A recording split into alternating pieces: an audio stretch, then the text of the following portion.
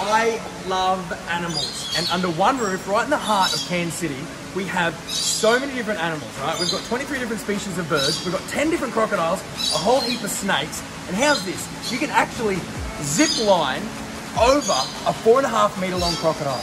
This is like my paradise. A giant crocodile is being fed right now. Listen to this sound.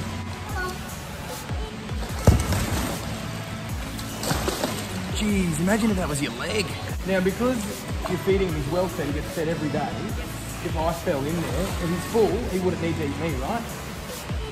He wouldn't so much pull your arm off and go yum, Yeah. but he's going to say, get out of my home, and he's, probably, he's going to have a go He's at gonna have a you. crash. He's gonna have a, a little bit of a love They're bite. very territorial animals. So. Yeah, I know, Jojo. I know, buddy. How are you going with all the ladies in here? Yeah? Now, wait, what's the thing? What do I dance to? I like to move it, move it. I like to move it, move it. I like to move it, move it.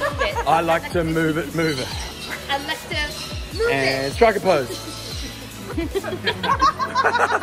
now, Dijon and Prada need a little meal, so I'm gonna I'm gonna roll up the sleeves. I'm gonna help feed these Crocodylus johnstoni, which are freshwater crocodiles. They're over here. And they're adorable. What do I here? Get a bit of duck feet. Is that what Yeah. they'll eat? This little piggy went to the market.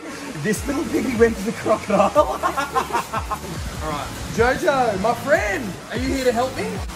You want to come up? Uh, there we go, mate. Not near the, not near the crocodile, obviously. Oh, in case he flies. I'm in a pretty sticky situation here. Okay, Jojo, we're to take Jojo away from the crocodiles in case he flies in. It turns out the crocodiles don't like what I'm serving up. It might be me, it might be the fact that maybe maybe birds like me a little bit better than crocodiles, thank goodness. Cairns Zoom and Wildlife Dome is open on the 13th of June, and if you're a local, 20% off. Have a look at this guy. It's a giant burrowing cockroach, and thankfully, its name is Seamus. Oh, how cute is that?